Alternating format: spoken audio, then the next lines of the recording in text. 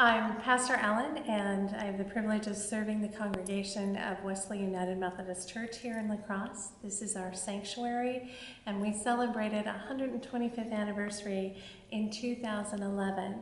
We are blessed to have a beautiful pipe organ that has 39 rows of pipes or ranks, and we're very blessed that that was a gift from the congregation many years ago.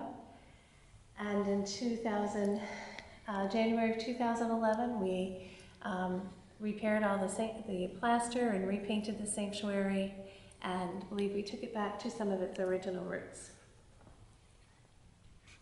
Anything about the stained glass? Is is there anything? I don't have any stained glass stories, sorry. I mean, the. Oh, okay. That's okay. This is awesome. It's beautiful. And I'll run up here and get a quick picture of this. Oh, wow. So nice.